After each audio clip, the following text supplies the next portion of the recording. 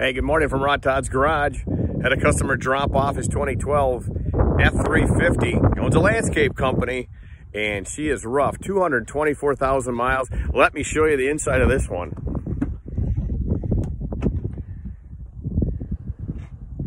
Yep, I think I found some Dallas grass growing in here. A flat of flowers growing in here. Nice leather interior though.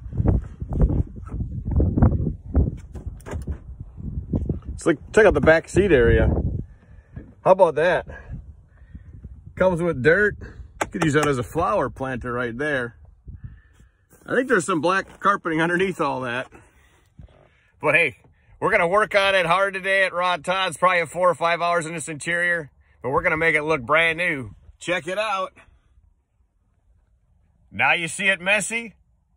When it gets back to you, it's going to be great. Talk to you later. Make it a great day at Rodd Todd's Garage.